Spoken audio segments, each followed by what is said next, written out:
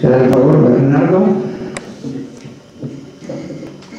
Sí, vamos a ver. Eh, la normativa de participación y acceso a los medios de expresión, nosotros llevamos en nuestro programa que la plaza, la revista La Plaza, debe de ser restituida a sus verdaderos propietarios, que son los vecinos, porque esa revista eh, está hecha con dinero público, está hecha con dinero de los vecinos. Los partidos políticos, eh, entiendo, creo que tampoco lo sé muy bien, pero tienen subvenciones ya del ayuntamiento eh, para, para, su propaganda y, sus, eh, las cosas que ellos tienen que, que, exponer. Entonces esa revista en realidad debe de ser para que mmm, las asociaciones, las plataformas vecinales y los vecinos expongan sus ideas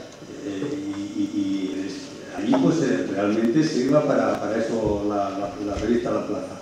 Eh, luego también eh, se pueden ampliar las funciones de la Oficina Municipal de Información, la OMI, que también eso lo llevamos en nuestro programa, para dar una mayor cobertura legal a, a, y, asesoramiento a los, a los otras.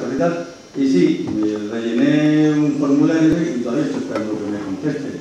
Entonces, pues, yo no sé para qué sirve la, la oficina esa, pero bueno. Eh, los presupuestos eh, deben de ser participativos, pues eh, creo que sí, que también, es lógico. Lo que pasa es que también digo que mm, eh, a veces debe ser complicado que la gente y todos podamos participar en los presupuestos que el ayuntamiento haga para unas determinadas obras. Ahora sí que es verdad que en aquellas obras que sean realmente importantes y que, y que supongan pues, un dispendio muy grande del erario público, sí que se les debe de consultar a los vecinos si quieren que se remodele esa plaza y se pongan dos fuentes o que solo eh, se pongan flores, porque a lo mejor eso pues eh, significa que nos van a cobrar más impuestos eh, y por lo tanto pues se debe de, consultar a la gente. No, es lógico, por ejemplo, lo que hicieron con los parquímetros, que nos mandan una carta a todos los vecinos diciendo que eso era para bien nuestro, que eso está, que, que lo estaban mirando por, por, por, nosotros, por los vecinos, eh, y por eso iban a poner los parquímetros. Pues, Polines, en vez de mandar esa carta a todos los vecinos, que nos manden preguntándonos si realmente queremos los parquímetros, por ejemplo. ¿eh? Y luego al final ellos hubiesen hecho lo que eh, eh, hubiesen estimado conveniente, pero por lo menos habrían consultado a los vecinos eh, eh, a ver qué es lo que lo pensaban. Sin embargo, lo dan como un hecho, ya van y nos lanzan a todos una carta diciendo que para, para, para, para nuestro. Luego, yo efectivamente pienso que, que, que, se le debe de consultar a los vecinos y que los vecinos deben de participar eh, en esos presupuestos, sobre todo cuando son de, de grandes gastos.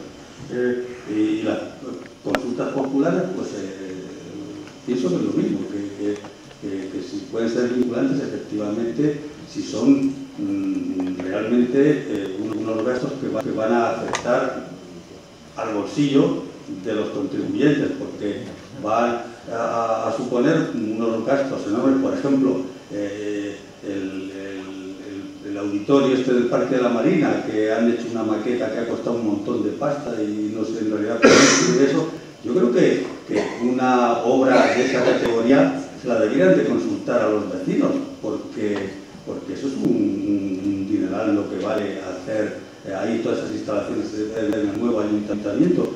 Y, y, nos lo han vendido, pues yo que sé, como, como es una obra maravillosa. ¿Cuándo se va a hacer? Pues no se lo sabemos, porque desde luego, si para hacerlas el ayuntamiento eh, está endeudado ya en 20 millones y, quieren hacer eso, pues eh, no sé, nos van a sacar a, a, impuestos.